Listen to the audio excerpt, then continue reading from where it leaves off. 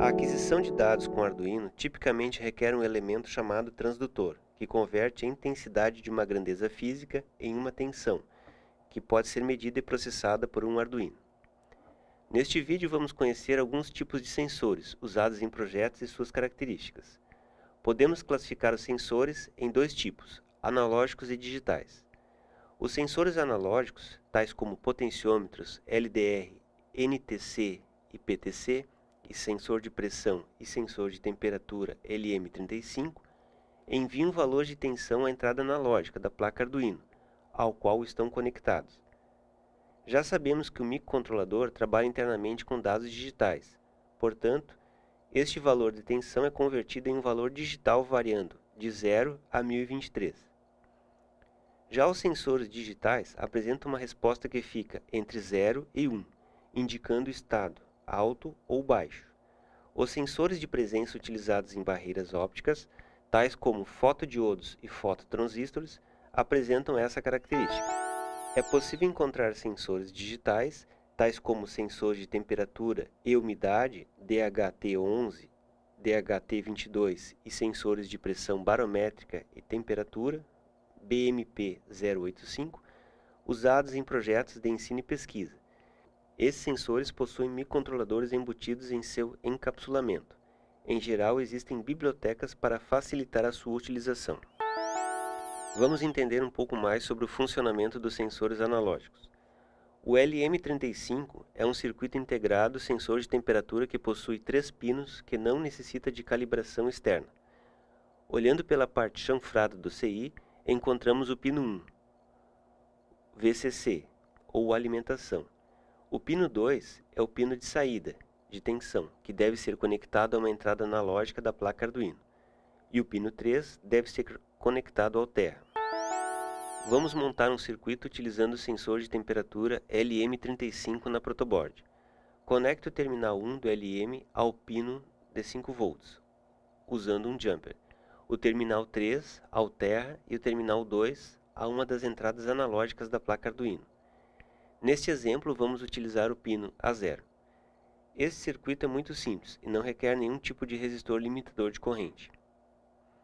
Este CI mede a temperatura na escala Celsius na faixa de menos 55 graus Celsius a 150 graus Celsius, e sua resolução é de 10 mV por grau Celsius.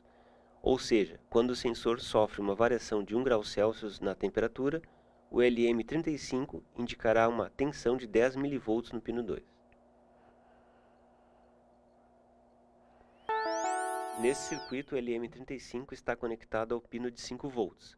Logo, a resolução será igual a 4,89 mV, ou seja, aproximadamente 0,5 graus Celsius. O programa irá ler o valor do sinal na porta A0, que ficará entre 0 volts e 5 volts.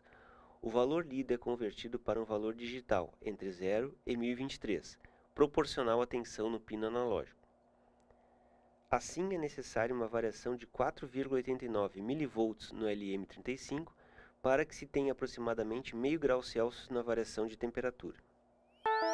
Vamos escrever nosso código que irá ler a temperatura indicada no sensor. Abra a ideia do Arduino, salve o projeto com um nome apropriado. Vamos salvar como sensor LM35 e selecione o tipo de placa que será usado no projeto. Neste exemplo, Arduino Uno. Após coloque um pequeno comentário no início do programa para que ajude a identificar sua funcionalidade. Não esqueça que os comentários são sempre precedidos de duas barras. Vamos definir o pino A0 para a entrada de dados analógicos e uma variável que receberá os valores de temperatura medida. Vamos usar uma variável do tipo float para que possamos ter valores com duas casas decimais após a vírgula. No bloco void setup, vamos definir a taxa de comunicação serial como 9600 e no bloco void loop, vamos colocar as instruções para que o programa faça a leitura dos dados é necessário declarar a variável temp, que receberá o valor da temperatura. Vamos usar uma variável do tipo float, e a instrução Analog Read para ler o valor do pino a zero. Observe que já estamos dividindo por 0,01, que equivale a multiplicar por 100, visto que a escala Celsius de temperatura é centígrada. Usamos a instrução print e printline para que os dados sejam enviados ao monitor serial. A instrução delay é colocada no final do bloco void loop para que tenhamos um intervalo de 2 segundos entre cada leitura. Neste exemplo, mostramos um funcionamento de um sensor analógico LM35, usado para medir temperatura. No próximo exemplo, vamos conhecer um pouco mais sobre sensores digitais. Para que você possa entender melhor o funcionamento de um sensor digital, vamos montar um circuito na protoboard como exemplo. Este circuito é conhecido como barreira óptica, pois é capaz de enviar um sinal digital, nível alto ou baixo, sempre que o feixe de luz infravermelha for interrompido por algum tipo de obstáculo.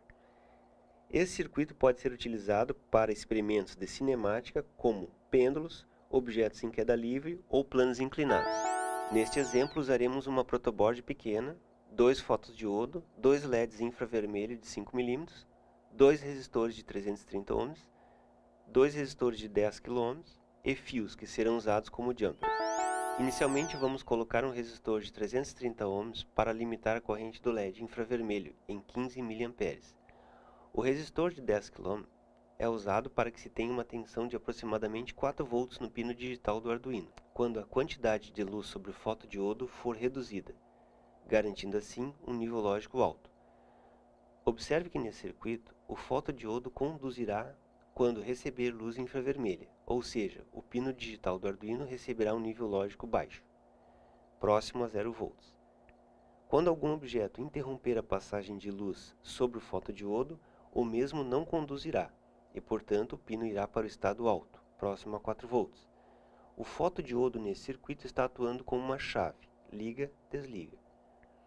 A barreira ótica é um exemplo de aplicação do sensor digital. Os estados alto e baixo que são enviados ao pino digital do Arduino podem ser observados através do uso de um osciloscópio. No próximo vídeo mostraremos as aplicações dos sensores na física.